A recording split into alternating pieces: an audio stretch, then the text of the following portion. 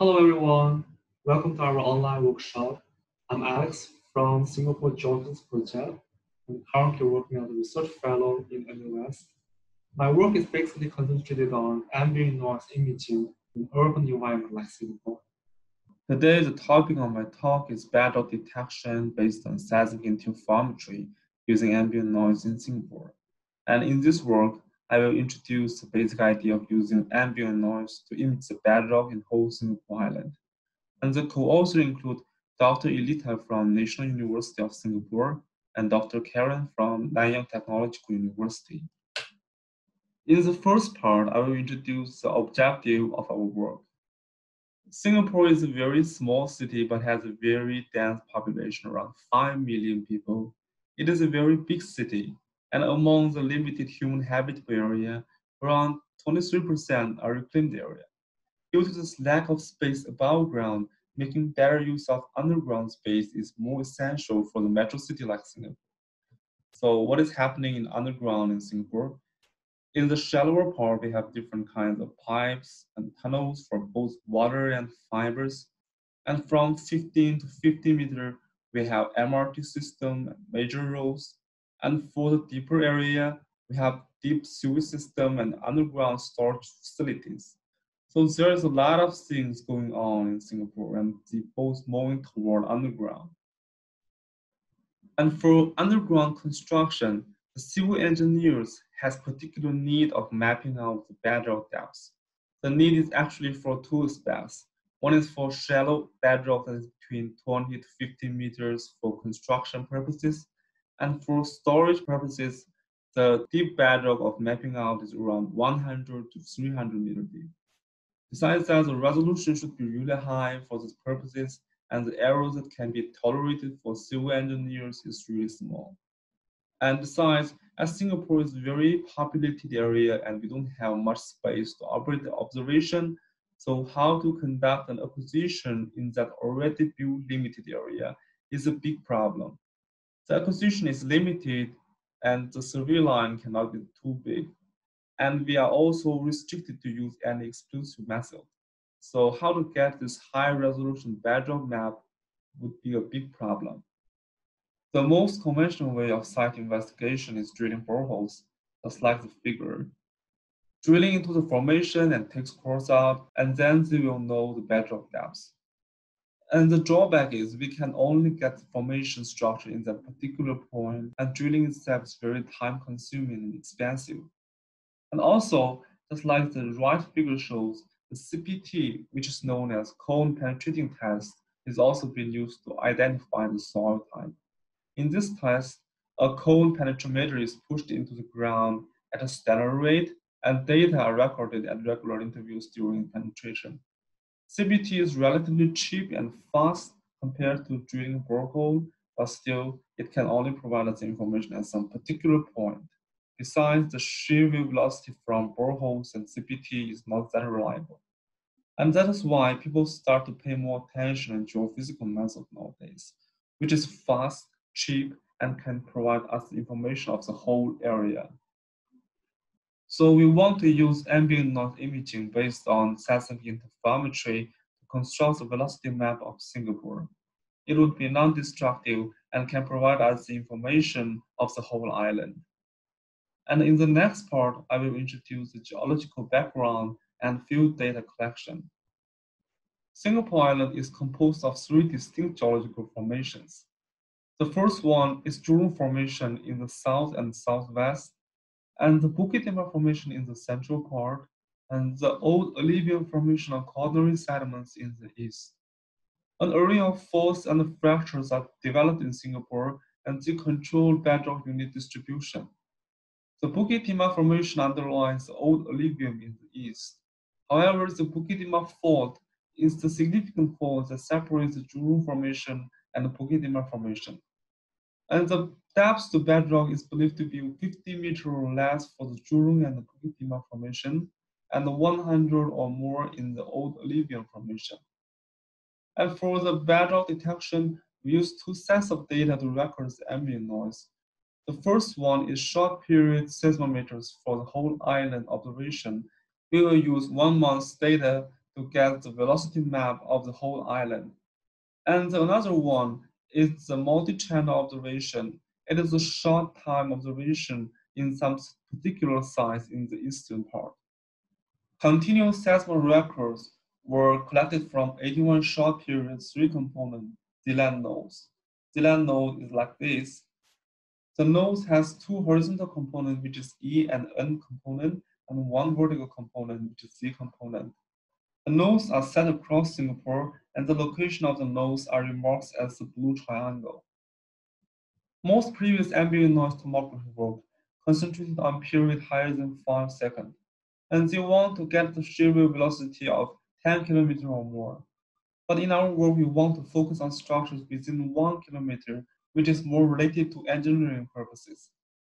If we plot the ray paths along each two stations, we will find our interstation distance is relatively short, so it is possible to use a relatively high frequency in ambient noise tomography. We can also see in the eastern part, we have insufficient ray coverage, so we will deploy multi-channel arrays in that point to get the shear velocity in those particular sites. We have conducted six different sites for the multi-channel observation in the eastern Singapore. We want to map out the bedrock depth in this area. In the both of the sites, for getting a real wave velocity rather than a apparent velocity, we set our array as perpendicular to the main road and the coastal lines, which are our main sources. We both using 4.5 Hz vertical component 04 for the observation, and the observation time for passive data is 100 minutes or more. We also observe some active data in the same site to compare the passive and active records. And the site location is remarked as the red stars. The most essential step in our processing is interferometry. By turning a receiver to a virtual source, we can get signal from the noise. If we take the traffic as the source and denote it as RS, then the wave field propagated to the survey line can be seen as a plane wave. The wave field received at receiver 1 and receiver N can be expressed in this way. And this is the ambient noise record from 24 receivers. And we retrieve Green's function by cross-correlating recorded ambient noise within the chosen time window in frequency domain. And then the cross-correlogram of all short windows are stacked together to improve the signal-to-noise ratio of the estimated Green's function. And it is the final record we have get from the seismic interferometry.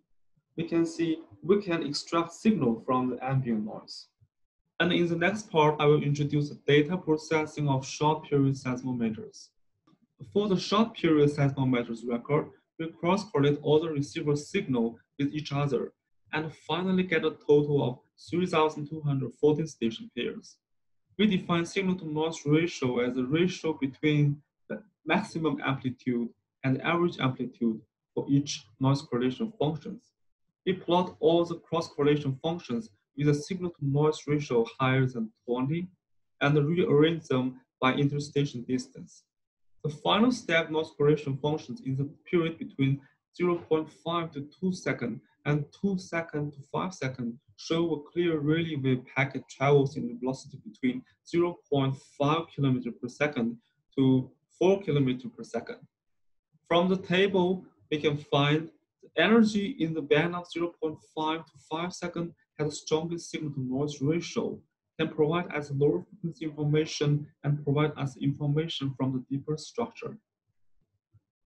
Then we use frequency time analysis technique to extract group velocity from the noise correlation function from each two station pairs. Basically, for each period of interest, we use a period-dependent window between certain group velocity to window the empirical Green's function in the time domain. Then Empirical Green's function for that period of interest is narrow bandpass filter, and we can get dispersion matrix by picking up the maximum amplitude in this dispersion matrix. The group velocity from the, all the stations is like this. Those group velocity dispersion curve from the data will be used in the tomography in the next part. And then we will introduce the data processing of multi-offset arrays. Unlike the processing of short period seismometers record, in the multi-channel arrays, we will set one trace as a virtual source and cross-correlate all the other receivers' data with that one particular receiver. By the standard bandpass filter from 1 to 50 Hz, normalization and spectral whitening, we cut the time domain data into a lot of small segments of data and cross-correlate with one trace. After stacking all the small segments of cross-correlated data together, empirical function on multi-channel arrays can be achieved. In the cross-correlated results of the ambient noise data, the most of the energy is coming from Rayleigh wave, and it has a very strong dispersion features. The lower frequency part travels faster than the higher frequency ones.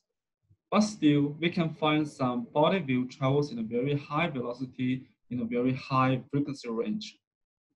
In the short period seismometers data, the noise source are believed to be random distributed. But in the multi-channel array, the main source has a certain azimuth. In spite of, we try to put our survey line perpendicular to our main source, but the azimuth still exists. In the equation, theta is the angle between survey line and the main source. And the angle impacts the phase velocity strongly, and the azimuth fluctuation of 5 degree can change the phase velocity in the change of 15%. For correcting the azimuth angle, we compare the dispersion energy matrix of active source data with passive source data in the range between 6 to 10 Hz, and we can get the azimuth angle for correction. In this example, after correction, the phase velocity of passive data can match very well with the active ones, especially in the high frequency range. So passive data can provide a more accurate low frequency information. So after correction, we can get a much more stable and much more reliable phase velocity from multi-channel arrays. After transforming time-space domain into frequency velocity domain, and after azimuth correction, we can get dispersion matrix of the surface wave. By picking up the maximum energy, we can get the dispersion curve of multi-channel array. So dispersion curves can be used in the 1D inversion of multi-channel array in particular size.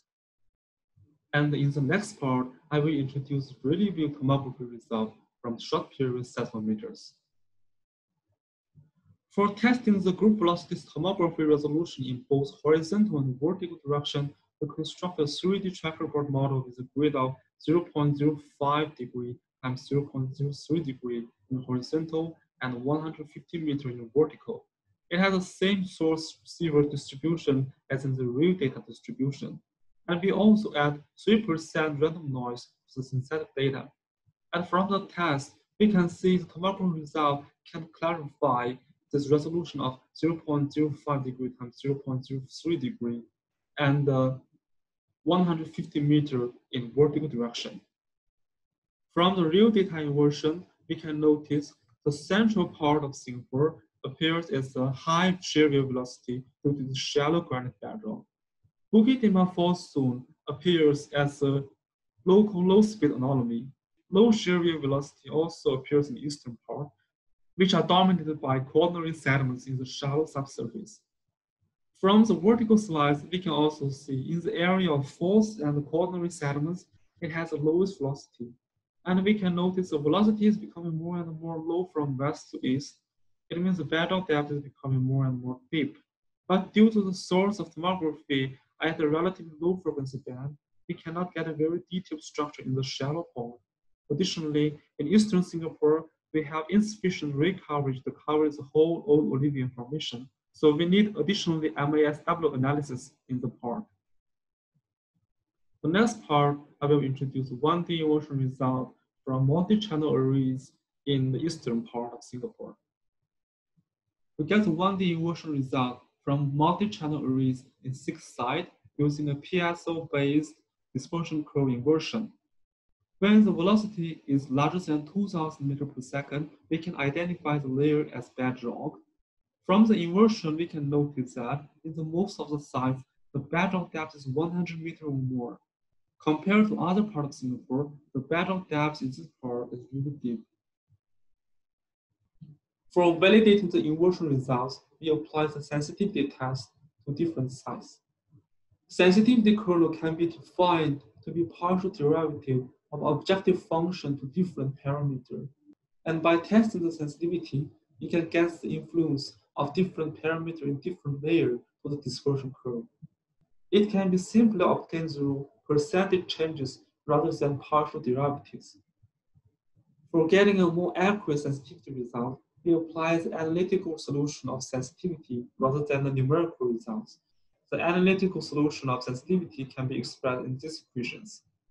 For this slide, we did the sensitivity test to different parameters, such as Vs, Vp, and the density. And we can see the impact of Vs on dispersion curve is much more stronger than other two parameters. And in the later part, we will only discuss the impact of Vs for different inversion results. Here is a sensitivity test of six sites. From the sensitivity test, we can show in the most of the times, the shallower structures influence the high frequency part of the dispersion curve dramatically, and the, the deeper structures impact the lower frequency part of the dispersion curve dramatically. If the inversion layer at certain depths has no impact on dispersion curve, but the inversion result in that layer is not that reliable. For example, in the site one, the layer at 150 meter has a little impact on the dispersion curve, so the erosion result in that layer is not that reliable. We can only trust on the layers that can impact the dispersion curve. And for all the six sites, we have bedrock depths from boreholes, inverted bedrock depths, and reliable depths from sensitivity analysis. We compare the bedrock depth with those boreholes nearby, and the depths can change very dramatically. Compared to bedrock depths get from tomography result, the basic trend is the bedrock depths is relatively shallow in both south and north coast area, and the depths in the north inland area are relatively deeper than the south part. And the last part is conclusions. Firstly, we use the surface wave tomography on the period of 0.5 to 5 seconds, and we can get a 3D shear wave velocity map of Singapore. And secondly, bedrock investigation can be achieved using multi-channel passive sensing survey in an urban environment like Singapore. And thirdly, from central to eastern part of Singapore, the bedrock gap is becoming more and more deep according to our tomography result and multi-channel passive sensing results. And this is all of my talk, and thanks again for your attention. If you have any comments or suggestions, please free to contact me. Bye.